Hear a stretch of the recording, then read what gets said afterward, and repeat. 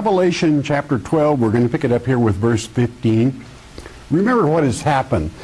This is where Michael himself, the archangel, cast Satan out onto the earth, and we have the last trump. That's the woe trump. And certainly uh, heaven begins to rejoice, but it says, Woe to you that are on earth, because Satan is down there and he knows he has but a short time. And of course, that short time is a five month period. Is it not strange that it's the same length of time as Noah's flood? That the, the, the rains came, the flood of, and here we have this ark of the end times that you'd better be on board of truth, the ark of truth. But the woman, which is Mother Israel, that is to say, those um, um, tribes through which Christ came, um, fled into the wilderness. That's, that's God's good earth. God's good earth takes care of its own. That's one reason why this nation, barely over 200 years old, is a superpower of superpowers. It has the blessings of God. In God we trust. Uh, those things are not accidental. Those things didn't just happen. It's written, and written long ago. And having said that, um, the um, uh, the woman was given uh, two wings of an eagle that this eagle would lead, would guide, would direct. And of course, uh, I have nothing to. Uh, um, my concern is not my concern, but I feel it's speaking here of the Elijah ministry that comes just before the great day of the Lord that helps that woman. So, having said that, let's pick it up in the 15th verse. Remember, back in um, verse 9, you had the old dragon, which is the serpent, the devil, Satan, and Antichrist. Don't, don't ever be deceived at the names of Satan. They're roles that he plays. And you're going to find out that um, in that in this 15th verse, as we read, he is again the serpent. That's the, his role of of, uh, of uh, deceiving women. Okay, and naturally he's trying to deceive this woman in the in, wilderness. Chapter 12, verse 15, word of wisdom from our Father, and it reads, "And the serpent cast out of his mouth water as a flood after the woman." that he might cause her to be carried away of the flood, this flood of lies and deception. Remember, remember back in the ninth chapter, it told you in verse 18, and these three was the third part of, by these three were the third part of men killed by the fire, by the smoke, and by the brimstone, which issued out of their mouths. Lies. You know, as long as you have the truth in your mind, a lie can't bother you. You're not going there. Why? Because you know that truth. And, and you know that truth well. Verse 16. And the earth helped the woman. And the earth opened her mouth and swallowed up the flood which the dragon cast out of his mouth. Now his name switches back again to dragon, meaning Satan himself. Verse, um, you know, the earth, um, good old earth is good to us. And, and don't ever forget that the Israel tribes were made from the earth. Uh, Adam was made from the clay of the soil, and um, God choose, chose what uh, He could make all from the same lump. Verse 17 to continue. And the dragon was wroth with the woman. Oh, he was ticked. And went to make war with the remnant of her seed. That's God's elect, those that know the truth which kept the commandments of God and have the testimony of Jesus Christ. Naturally, Satan has everyone else deceived because the whole world wonders after him. But there is that election that stands in his way, which they have the testimony of Christ. Why? Because the Holy Spirit speaks through them.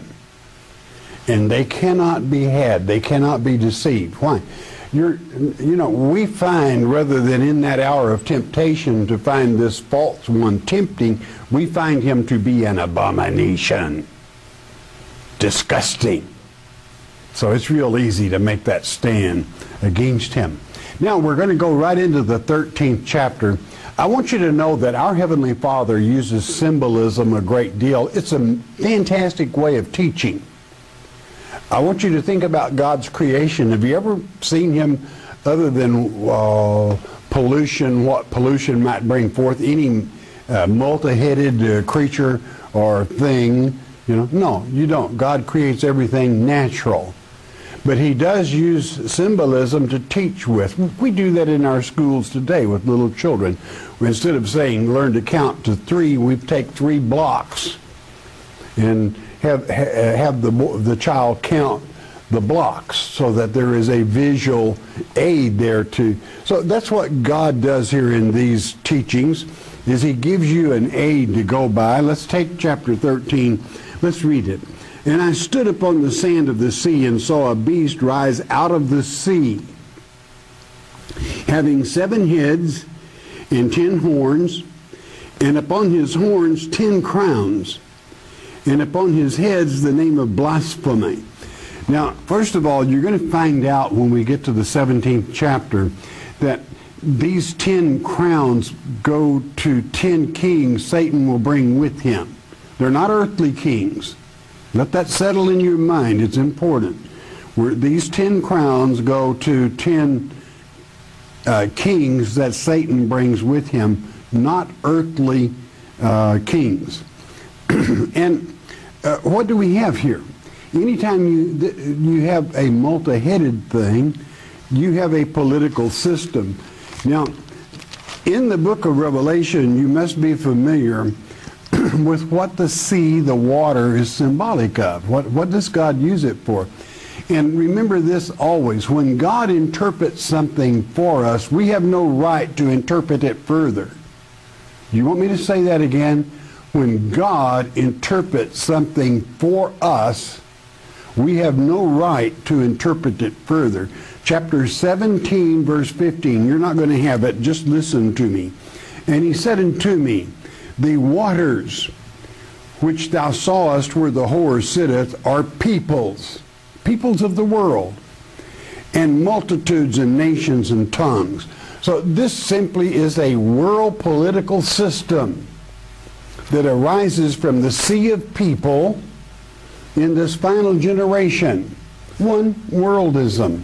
It's been spoken of many times in the Old Testament that it would come to that, especially the book of Daniel. And, and here you have it.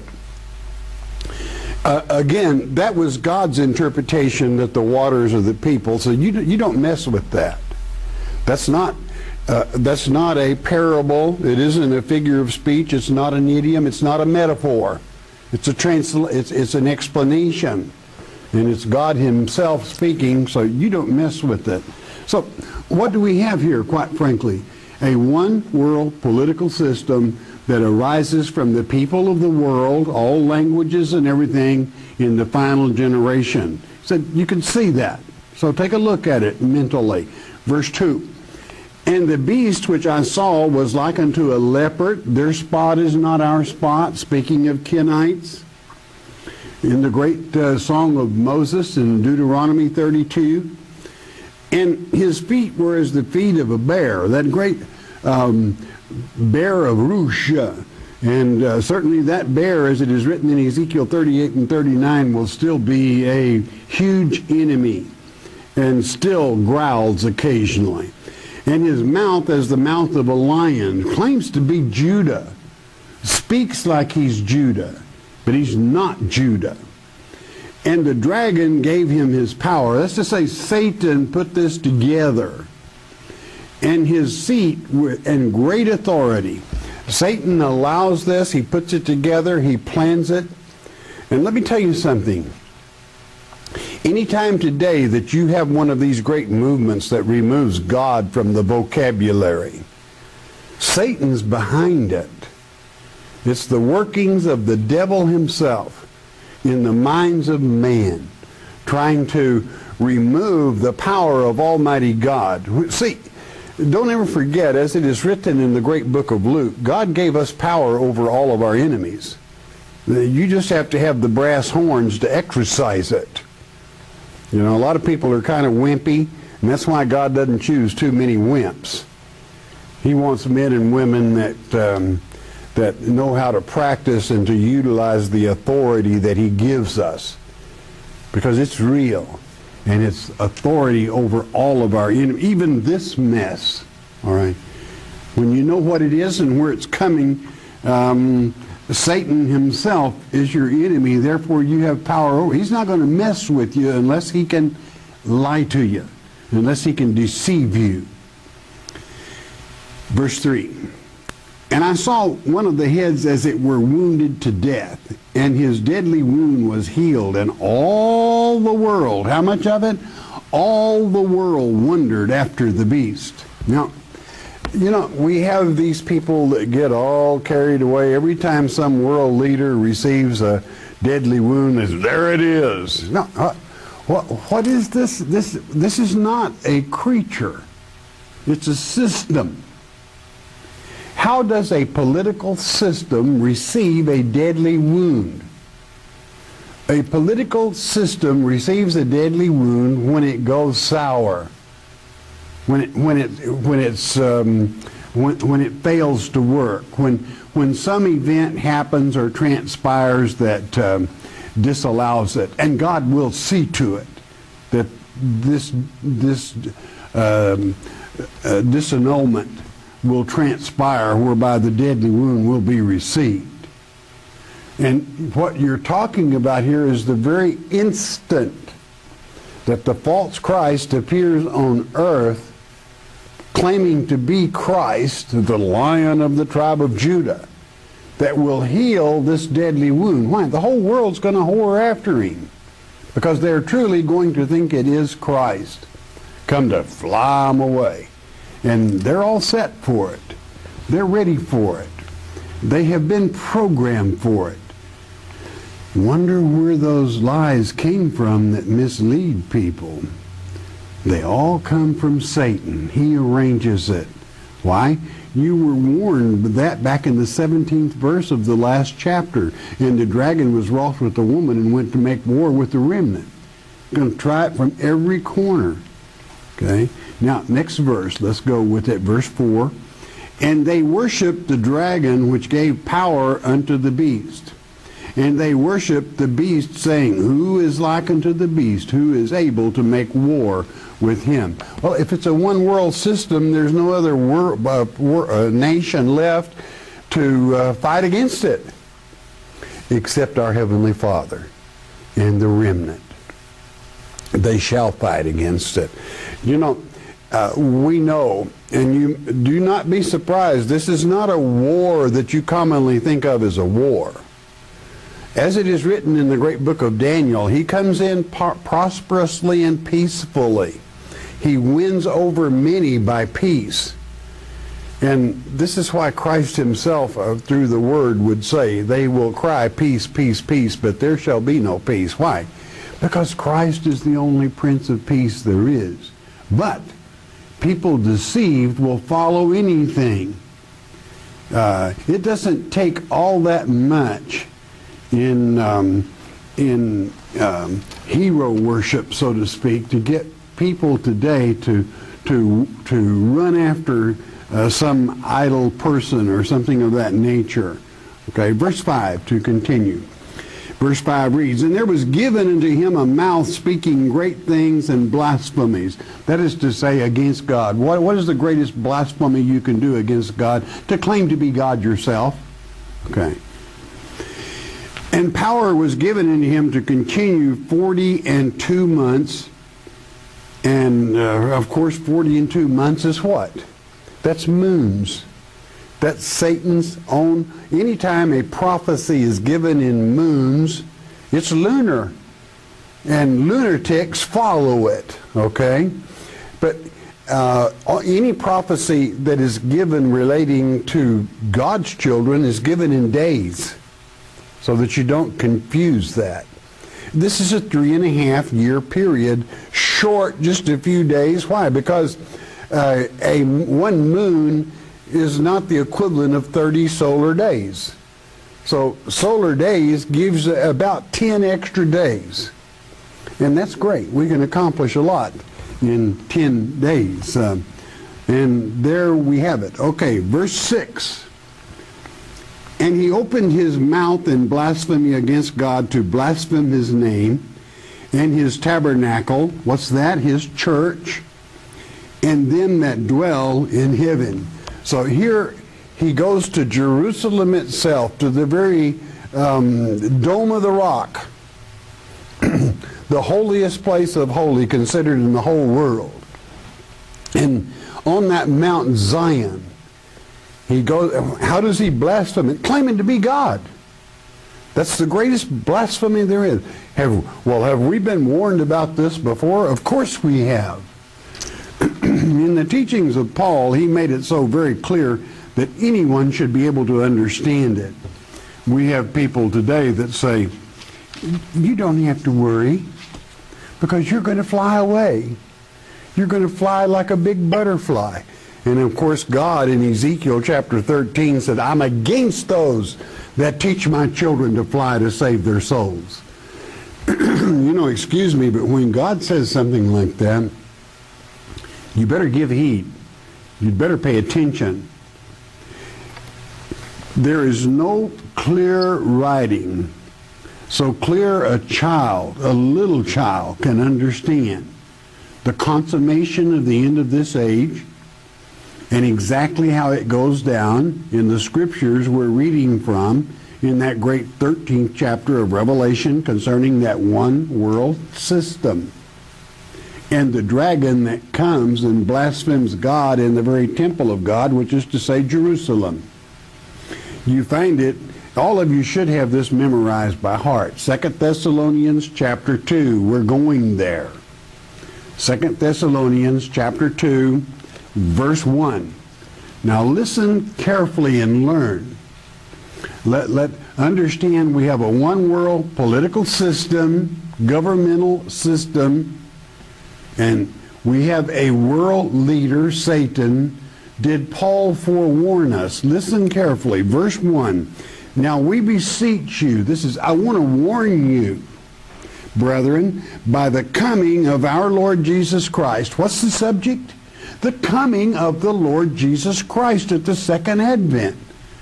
Like I said, a child can understand that. That's the subject. And by our gathering together unto him. That's what every Christian looks forward to.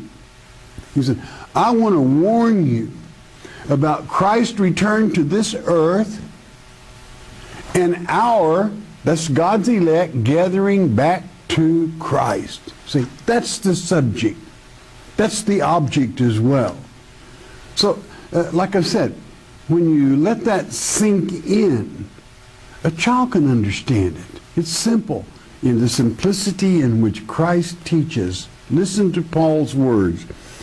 Two, that you be not shaken in mind. Don't you let people shake you up or be troubled neither by spirit, that's to say some, some religious spirit, nor by word, that's to say somebody claiming to teach God's word, nor by letter as from us. Don't you let that first letter to the Thessalonians, especially chapter 4, mislead you about our gathering back to Christ. Meet him in the air. What it says is we'll meet him in the spiritual body. The word is aroi in the Greek. And naturally, at that seventh trump, instantly we all change into spiritual bodies. That's what we meet him in. Is any letter from us as that the day of Christ is at hand? It's not going to happen until it happens exactly like I say it is. That's what Paul is saying. That's what Christ is saying. So you need to listen to your Father. Okay. The one world system comes into being, and this is the warning. Verse 3 Let no man deceive you by any means. Don't let it happen, beloved. That's how, that's how important and dangerous this is in the deception. For that day shall not come. I repeat, not come. It ain't going to happen except there come a falling away. That's an apostasy, the great apostasy. And that man of sin be revealed, the son of perdition. Perdition is apoleia in the Greek, and it's one of Satan's names. It means to perish. There is only one entity one Son of God that has already been sentenced to death, to perish, by name. Now, he's got some lieutenants that are sentenced to death, but they're not named. This one is named. Son of perdition is one of Satan's names. If you go to uh, in, in the Greek, it is the prime of Satan's name, the destroyer, Apollyon. You read it back in the 15th, the ninth chapter, where his name is given both in the Greek and the Hebrew, uh, in the English translation. So here you have him. I mean, how many guesses do you have there? What he has said is, there is no way, don't let some man deceive you. Christ is not returning to this earth. You're not flying away anywhere. You're not going anywhere until after the son of perdition stands in the holy place. What is he doing? He, we learn from in the 13th chapter, he returns to, to the tabernacle. That's Jerusalem. What does he do here? Now, now that we know who we're talking about, Christ does not return until Satan does what? Verse 4 Who opposeth and exalteth himself above all that is called God or that is worshipped, so that he, that's to say, Satan as God, sitteth in the temple of God, showing himself that he is God. Where is the temple of God? The, the, the mount and the, the uh, Holy Mount is so very important. You have it in the news today. It's sad, but true. And um, that's where Satan intends to sit, and there will no one prevent him. They will fall all over him because he claims to be God. He performs miracles, as you're going to find when we continue in the 13th chapter of the great book of Revelation. Now, what have we learned here? It's so simple a child can understand. Don't let anybody deceive you about our gathering back to Christ, that it's not going to happen until after Satan stands in the holy place claiming to be God. Verse 5 And remember ye not that when I was with you, I told you these things? When we were sitting around the campfire, we went through this over and over. Verse 6 And now ye know what withholdeth that he might be revealed in his time. Verse 7 For the mystery of iniquity doth already work. Only he who now uh, letteth will let until he be taken out of the way. Now, the he here, uh, uh, being taken out, is a transitive verb. You with companion Bibles, you're very fortunate. It will explain the transitive verb to you. Uh, what it sim- let me oversimplify it. A transitive verb is simply that the action must be transferred back to the who is the subject is before the understanding comes. So naturally the subject is Satan. And he who now holds Satan is who? You read it in Revelation chapter 12. Michael. Michael is the one that holds Satan in heaven, and Michael is the one that boots him out. So only he who letteth will let until he be taken out, thrown out, cast out, and woe to you on earth. It transfers back to verse 4 and 5, Satan standing in the holy place, claiming to be God. Okay? So, hey, the mystery already works. The little Kenites continue working overtime the, the uh, liberalism, which is communism, atheistic communism, continues to work. People removing God's name from vocabularies, deceiving and lying to people. Verse 8 And then shall that wicked be revealed, whom the Lord shall consume with the spirit of his mouth that two-edged sword you read of in chapter 116 of Revelation, and shall destroy with the brightness of his coming. That's when the second advent transpires. That's when Christ returns to this earth, and not until. Don't let anyone deceive you into worshiping Satan, whereby you would pray for the mountains to fall on you because of your shame. Verse 9. even him whose coming is after the working of Satan with all power and signs and lying wonders. In other words, Satan gives the Antichrist his power because it is Satan. Okay, the dragon, the old serpent, the devil. Remember all of his names there in chapter 12. Verse 10. And with all deceivableness of unrighteousness in them that perish, they go into hell because they refuse, received not the love of the truth that they might be saved. They would not listen. No, we've got to take an easy out. We're, well, we don't have to learn Revelation. We're going to fly away anyway. We're going to be gone. That is a very strange thing when a man will let uh, another man tell him he doesn't have to understand the Word of God. That's ridiculous. A child knows better than that. The Word of God is paramount. And especially when the word revelation means to reveal or to make known. Why would you let somebody tell you it was sealed? That's ridiculous. Verse 11, and for this cause God, this is God himself, shall send strong delusion that they should believe a lie. If you want to believe Satan's lies, God will let you. But I'm a Christian. No, you just claim to be. You're not following Christ, you're following the devil if you follow the one who comes first. If you're the first one taken in the field mentioned in Matthew 24, because the first one that comes to the world, which is the field, is Satan. It's written here, where again a child can understand. Verse 12 to complete.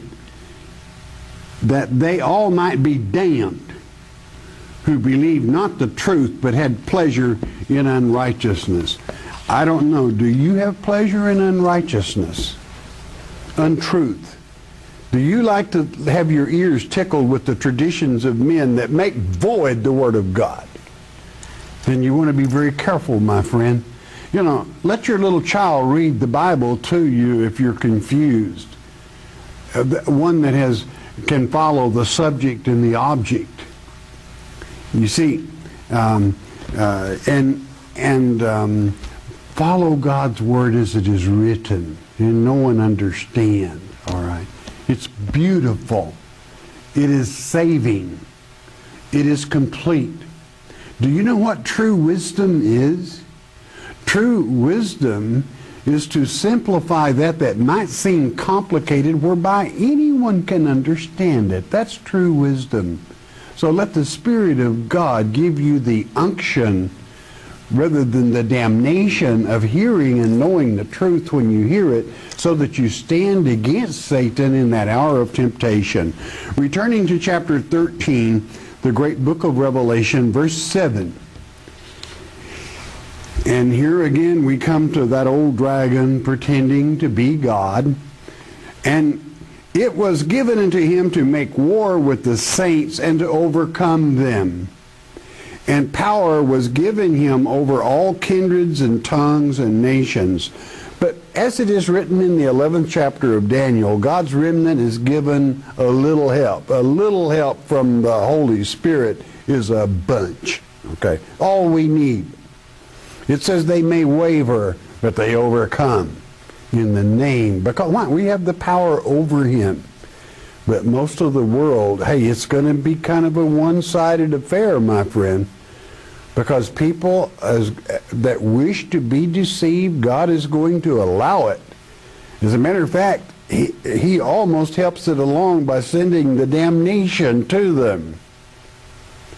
You want to listen to your Father's Word, analyze it, let it flow as honey over the buds of your mind, whereby you are not deceived. Um, uh, this war, who does he make war with? It's a spiritual war.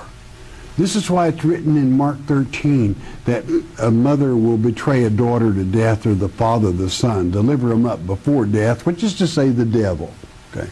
He's trying to convert them. He's coming in peacefully and prosperously. It will deceive many people because he will say, worship me and believe me, and you have no debts. Look what I've done for the world. Going to be pretty convincing, friend. As Jesus would say in Mark 13, if I had not shortened the days, none, no flesh would be saved. I do not believe any, not one soul will give over that is God's elect. Verse 8, and all that dwell upon the earth shall worship him. There's an exception whose names are not written in the book of life of the Lamb slain from the foundation of the world. That means chosen before the katabole. You deeper students know and understand what I mean, the overthrow of Satan. Why? Because you stood against him there and you shall again. All will worship him except God's election. That's how good he is. You want, you want to prepare yourself mentally for that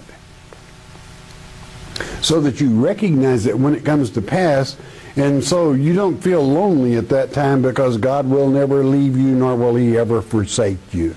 And you and God make a majority. Verse 9, if any man have an ear, let him hear. Do you have ears to hear the truth when you hear it, or do you have eyes to see in the world today as things transpire?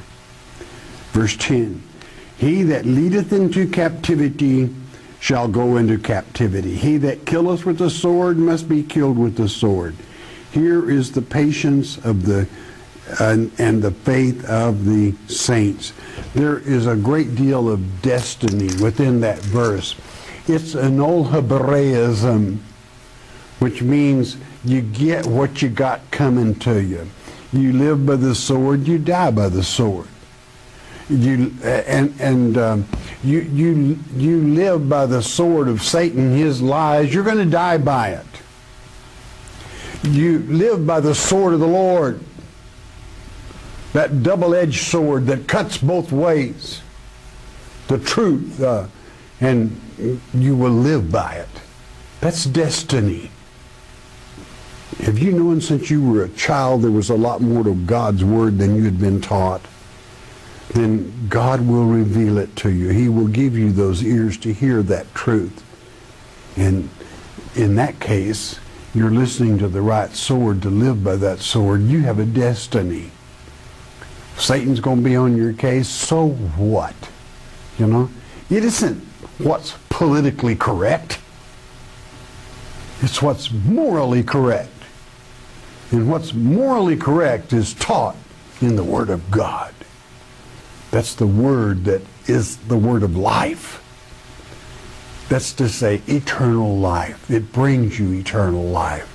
Hey, don't miss the next lecture concerning the mark of the beast. All right, bless your heart, you listen a moment, won't you please?